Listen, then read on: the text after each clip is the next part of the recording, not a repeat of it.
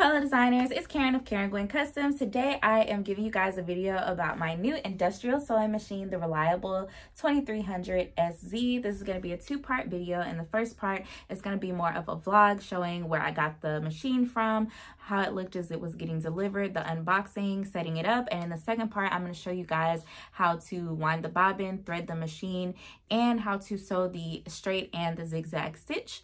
So if you're interested in this machine or industrial machines in general, this is the video for you. Before we get started, be sure to like, comment, subscribe, share this video with a friend that may be interested in my content. And when you hit the notification bell, change it from personalized to all so that you get notified every time I upload one of these helpful videos. Also wanted to let you guys know for those of you that are waiting for the instructional videos on how to use the dressmaking primer, I promise those are coming soon. I'm working to make sure that they are perfect. Um, so thank you guys so much for your patience, but let's get started um, talking about the Reliable 2300 SZ. So this is the website I ordered my machine from, sewingmachinesplus.com. It is the Reliable 2300 SZ, and it has a straight and zigzag stitch, which is why I chose it. The cost is $899, but um, there are some additional fees, so you will be paying more than that. It has to ship by freight, which is a $300 charge depending on where you live. Um, it does include a one-year warranty. After um, all the extra fees and everything, you are going to be probably looking at around $1,200. And they do also offer financing through Synchrony Bank, which is a credit card that you can get specifically for this store that will give you 18 months to pay it off off, no interest. It took about a month for me to get my machine delivered after I ordered it. That's because it was actually drop shipped from Canada. So I placed the order with um, Sewing Machines Plus, and then they placed an order with Reliable, who fulfilled the order. Um, Reliable is the company that makes the machine. Here is the delivery guy unloading it off the truck, and he actually did help my husband carry it into the house, so that was really nice of him because I think a lot of times they don't do that. Um, the machine is attached to the pallet with some metal um, things. It's like straps or something, and you have to have some wire cutters to cut it off. So make sure you have that on deck, especially in case they just leave the machine in your driveway and don't help you.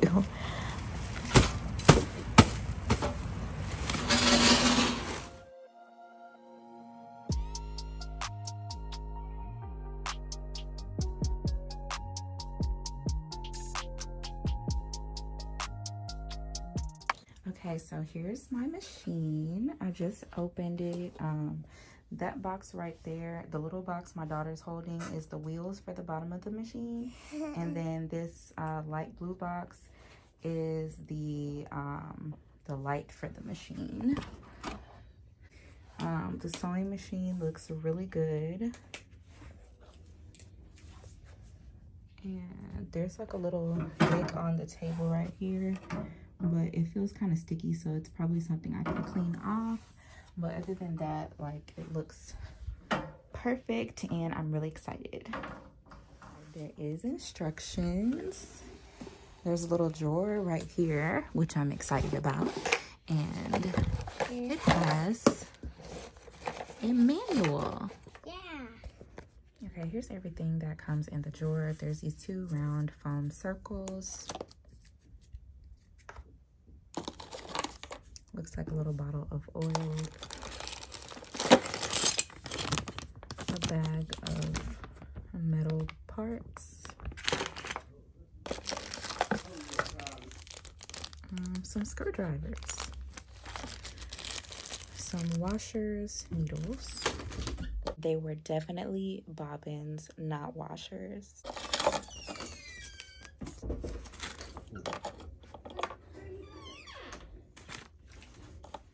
Okay, so this long metal thing right here is the pedal uh, control. So like when it gets pulled, it controls the sewing machine. And it was turned with this little thing facing that way. So I just had to grab it towards the middle right here and twist it so that I was facing towards me. And then here is the foot pedal. So you just have to insert it into the hole Or I guess it depends on, oh, yeah, that's how it's gonna be. You have to insert it into the hole, which I didn't know if I should put it in the middle hole or the side hole, but I just peeped at someone else's YouTube video and they put it in this one. So that's where I'm gonna put mine. And I'm about to tighten this little screw here. I guess I'm supposed to take the screw off, stick the thing into the hole, and then screw the screw back onto the other side.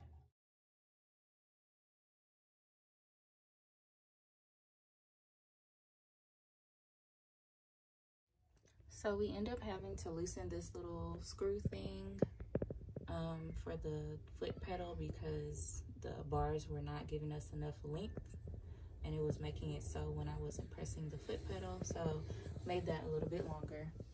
And then it also came with this lamp. And all you have to do to connect it to the table is unscrew this thing and then put it over the table and tighten it until it's tight. Power button is right there. And it has different settings for the brightness.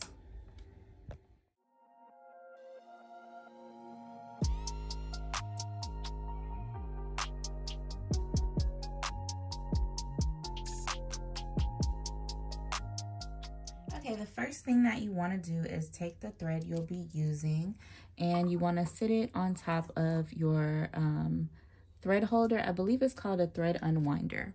Now up here, you will see there is a little hole and you're just going to push your thread. You zoom in if I can. You're just going to push your thread through the back of the hole to the front of the hole so that the thread is coming back towards you. Next thing that you're going to do is bring your thread down. Um, this is kind of the direction that your, I don't know what this is called, but this is the direction it should be facing. There's two holes on the side of the little circular thing, and you're going to take your thread and bring it from the back through the front of this first hole, like so. Then you're going to wrap the thread around in between these two metal plates. And then on this side, you're going to bring your thread through that hole, going that way, all the while making sure that your thread is still passing through those two metal plates. So that's that part. Next, you're gonna bring your thread over to the bobbin area here. There's a hole in the top of your bobbin and you're just going to, this is optional, but I always like to do it this way. Stick my thread up through the hole in the bobbin, and then you're gonna sit it down on the bobbin holder. This thing flips out and it flips in, um, but you'll notice when I have it like more towards the middle of its turning uh, range, that's when the bobbin holder is moved all the way to the edge of the little round thing. And so that's the position that you want it to be in. That's going to allow the thread to wind when you are pressing on the foot pedal. So you'll see I press the foot pedal right now and it's going to start winding.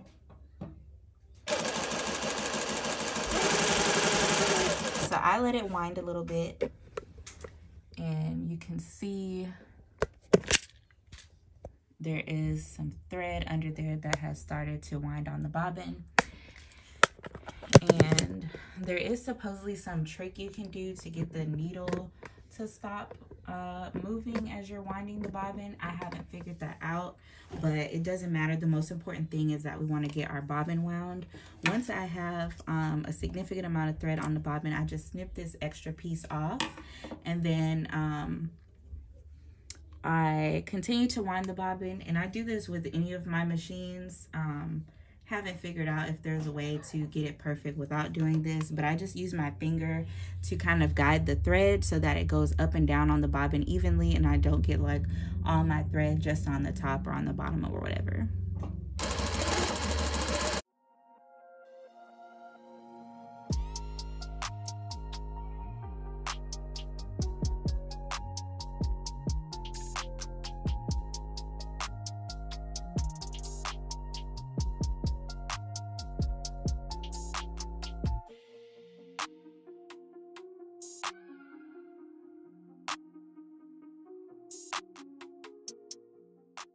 Okay, so my bobbin's like full.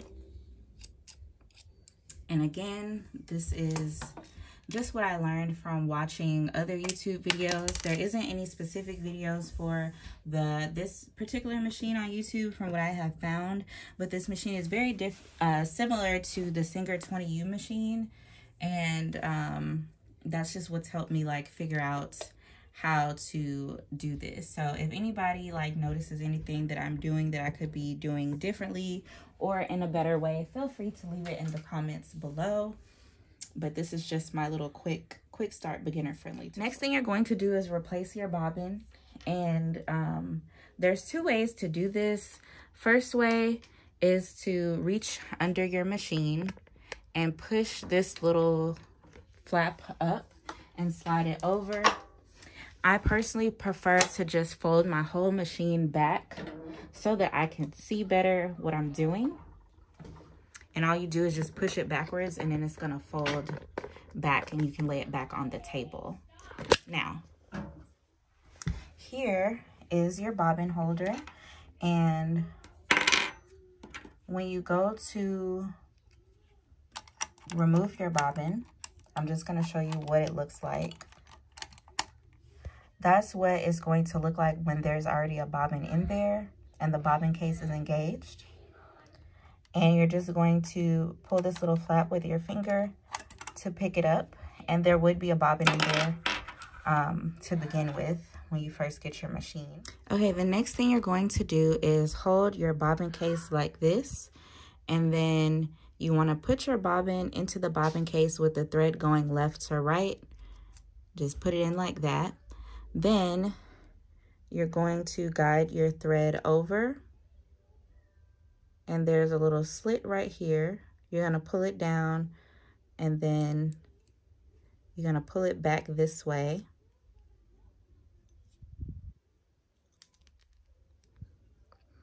So pull it down, pull it back that way until it goes into this little hole right here. And then I just snip it off. I don't know if you have to do this, but I just do so there's like less of a tail hanging. And then you're to put it back in your machine. So look, there is the bobbin case and you're going to pick up that little flap. Have the flap laying horizontally and you're just going to slide it back in there. And yeah, the flap is supposed to be going that way. And then now that we have that back together,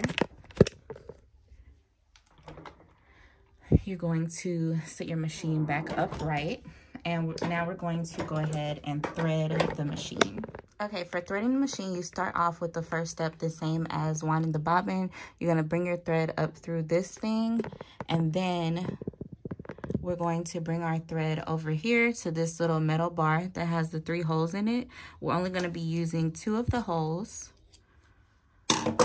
And you're going to take your thread and stick it through this top hole going from right to left. And then you're going to bring it back this way, skip the middle hole, and bring it back through the bottom hole again going from right to left, okay? So that's that step. Okay, so we got that little metal bar out of the way. Now we're going to take the thread, bring it back through this flap thing here. I don't know what these parts are called, y'all. Sorry. Just watch closely. So you're going to bring it through there. And then you're going to wrap it around. There's two metal plates here. You want it to go in between the two metal plates and bring it all the way around staying in between the two metal plates, okay?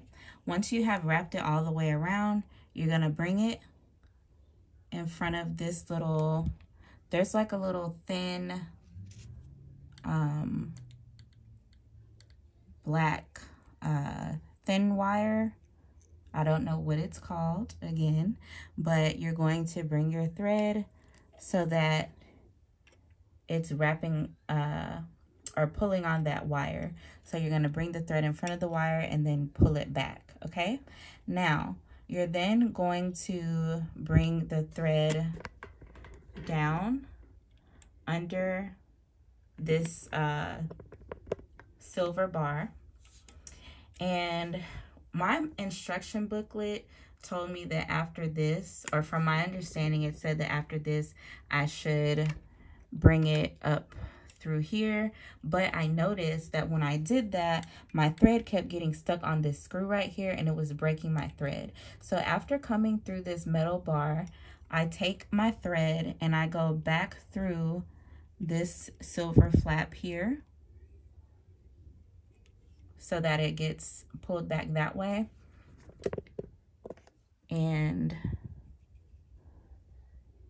then as you can see, there is a metal bar here, or not a bar, it's a it's a metal something that has a hole in it. You're gonna take your thread and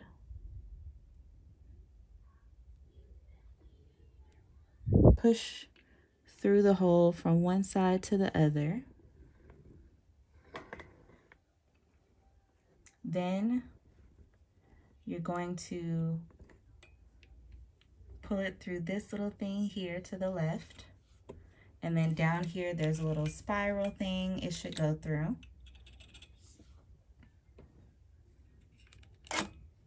This little button right here brings your needle back up if it's laying down, sitting down. so then make sure your needle is up. Once you pass your thread through the little spiral thing, there is a hole right on top of your needle in the front. And you're going to bring your thread down through that hole.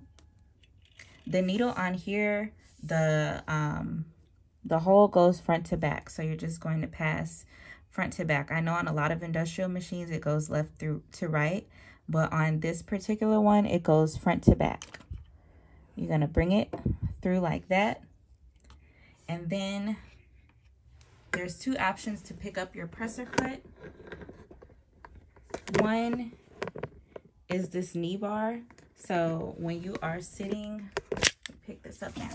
Okay, so when you're sitting at your machine, your knees will be like this. So when you hit that knee bar, your presser foot will raise up. If you don't want to use the knee bar, which is the easiest thing because it's hands-free, then there's also a presser foot lever back here that will raise the presser foot up and let it back down. I'm going to show y'all really quickly how to sew on here. Um, some things you should know when you're getting ready to sew. This is where your tension is. On a commercial or home machine, there will be a dial with numbers on it. This dial does not have numbers. It has just this notch right here. And the way you can tell like how tight it is is by trying to focus. You can see a, a thin wire that like is coiled right there. And the closer your knob is, the less exposed the wires are. That means the tighter your tension is and the more of the wire, the coil you can see, that means your tension is looser. So I had to play with this a lot to get it exactly where I wanted it to be. And the way I kind of keep track of how much I've turned it is I just turn it a quarter of a turn every time. So if I think this is too loose, then I would turn it this way till the notch is facing upwards and that's a quarter turn for me. And I just keep adjusting by turning it this way is tighter, this way is looser. So to adjust your tension, you just turn left to go looser, right to go tighter. And that's something that you're going to have to play around with until you feel like you have the right tension on your machine. Because like I said, unlike your home machine, there are no numbers. So you're just going to kind of have to play with it and figure it out.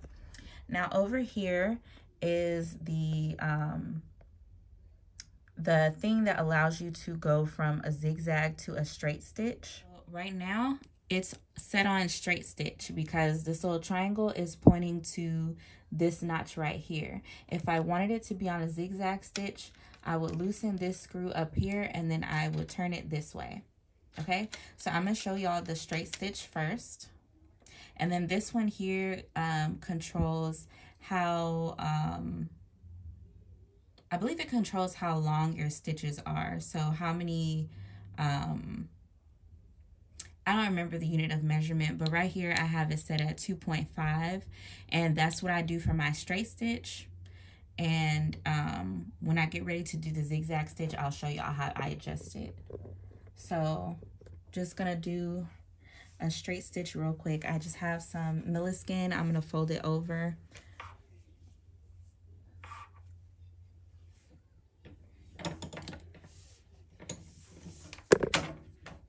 And when you want to stop sewing, um, you can raise your presser foot pop that needle back up with this button here. Or if you want to do a reverse stitch, you would just lower this lever while you're sewing.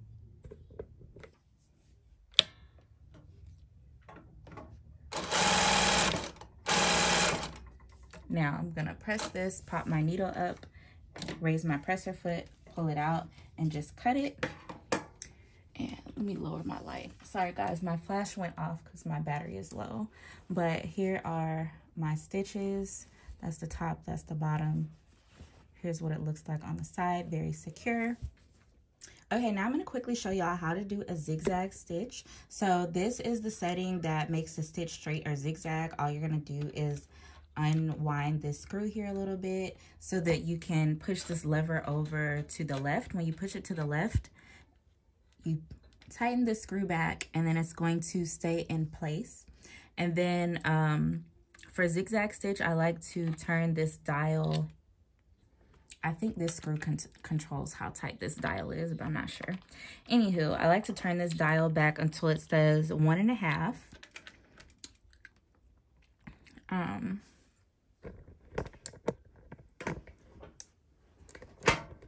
Side note, guys, this little thing here controls what position your needle is in. Right now, I have it in center position. If I want to move it to the left, I push it in and move it to the left. If I want to move it back, I push it in, and that's how you control that. Moving over here.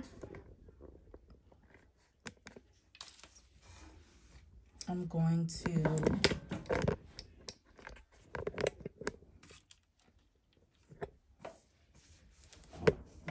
raise my presser foot. So.